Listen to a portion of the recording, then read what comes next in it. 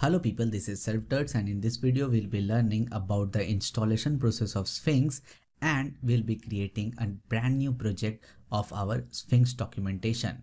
What I'll do, I'll go to my Linux terminal here and have already created a virtual environment which you can see it is activated also. So this virtual environment is activated and I'm using Python version 3.4.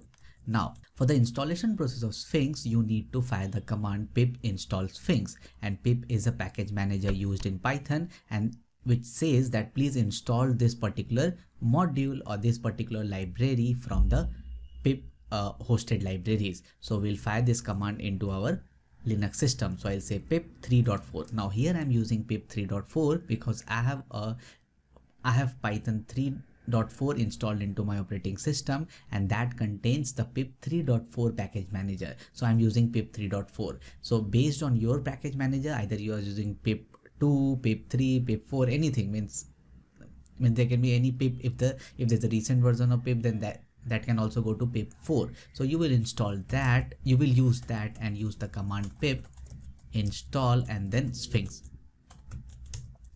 so what this will do this will go to the files.pythonhosted.org which is the remote server where the Sphinx module has been hosted and it will try to pull that particular module to our local operating system with all the dependencies like this imagesize, docutils, certifi, IDNA. So these are the different dependencies and it, and it will install these dependencies with Sphinx into our local operating system.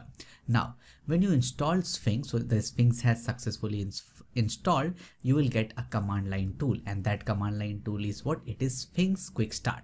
So this is a command line tool which will help you to initialize or bootstrap your Sphinx project. Otherwise, it will be very difficult for you to write the different files like there is index.rst file, conf file, there's build, there's source, there's make file. So we'll see later on that all those files are present there. And if you try to do that manually, then it can take time. So Sphinx has provided this Sphinx quick start command line tool through which you can create your brand new project. So I'll go to my Linux terminal and I'll type Sphinx quick start. So this Sphinx quick start will be present on your command line when you install Sphinx project. So I'll say Sphinx quick start and this will start to create or bootstrap a new project by asking some of uh, some of the basic questions which you need to answer. So the first question is what separate source and build directory. So yes, we want separate source and build directory. So it will be Y.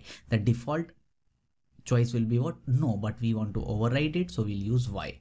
Name prefix for template. So I need default one. It is not mandatory. So what is the project name? So I'll say self-tuts and who is the author. So I'll type my name that is Raj Ranjan. Then project, language, source suffix, uh, source file suffix rst so these all things are correct so i'll hit enter enter enter and it will try to create a new sphinx project now the important file is what create a make file that is yes create windows command file so if you are trying to use the same project or if you use the same project in windows also and in linux so you need to create a windows command file also so yes and this has created some files and some folder inside this self-taught sphinx learning directory which we'll see. So the project has been bootstrapped and these are the files make.bat, make file, source and bit. For now, the, the most important folder that for which we are concerned is the source file. So what we'll do, we'll go inside this source file and we'll see the list of files that are present. So there's conf file, index.rst, static and templates. So we'll learn about static and templates later on, but for now index.rst and conf is important. So what does index.rst says? It is the entry point of your documentation, which means that if you have created new pages, new folders, new images, then you need to import everything here inside the index.rst for it to work. So when Sphinx will generate a documentation for your uh, source code or the documentation that you have written. So the entry point will be index.rst and there is a conf.py file which will help you to configure your project like which theme you are going to use which are the extensions that you're going to use so this conf.py file is very much important and we'll take a look into it so these are some default project configuration that Sphinx Quick Start has already given. So we will not change anything for now. We'll just see the, that there is a hell lot of configuration that can be used like what is the HTML theme that you will be using. So it is Alabaster that is that it is currently using. So these are the different configurations that are present inside our conf.py file which will change later on in our subsequent videos now once we have created the bootstrap project for sphinx then what we need to do? We need to create uh, fire the command make html so that we can create or we can build our documentation from this rst file into html format. So it say the html pages are built in build.html so if we'll go inside this build folder which is present in the same folder that is Sphinx Learning, there is a doctrees and HTML. So inside this HTML, you will file, these are the different files that has been created. So you need not to see these files because these are automatically generated when you fire the command what?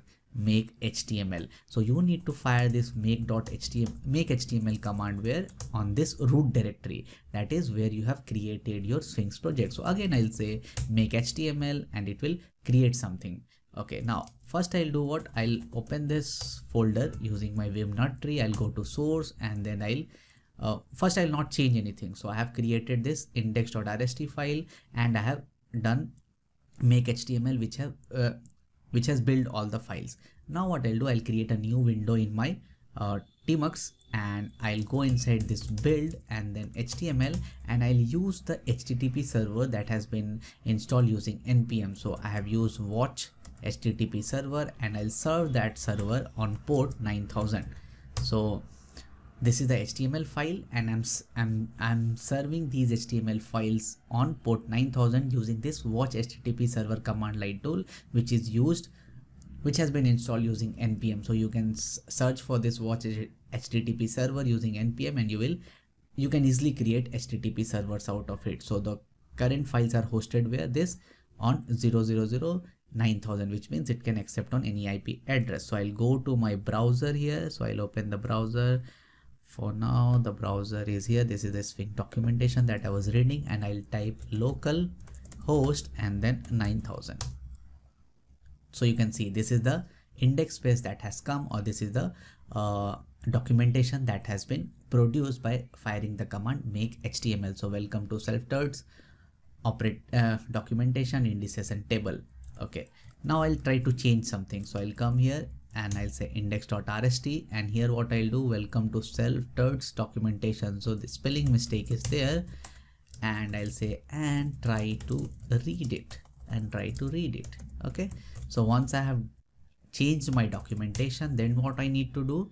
I'll exit from here. Then what I need to do? I need to fire that command. So I'm creating a new here I'm inside Sphinx Learning, build HTML, cd dot dot, cd dot dot, and again what I'll do, I'll activate my virtual environment so that I can use Sphinx command line tool. So source venv been activated and I'll type the command make HTML. So this will again build my project or build the HTML file. So you can see this has built the HTML files and my HTTP server has automatically reloaded when it has seen some changes. Now I'll come to my browser and I'll hit reload and you can see welcome to self-tuts have changed the spelling mistake documentation and try to read it. So this way you can produce your own documentation. For now you will see that this documentation is very bad because you can see only a single page in the index there is nothing and in the modules index also there is nothing but later on we'll see that how we can beautify it how we can put new themes and how you can write your own documentation for the source code. So this was all about how to install sphinx on your local operating system and how to use it how to use sphinx quick start to create your own project. So hope you like this video hope you like my channel. Please subscribe to my channel and please share these videos with other people. Thank you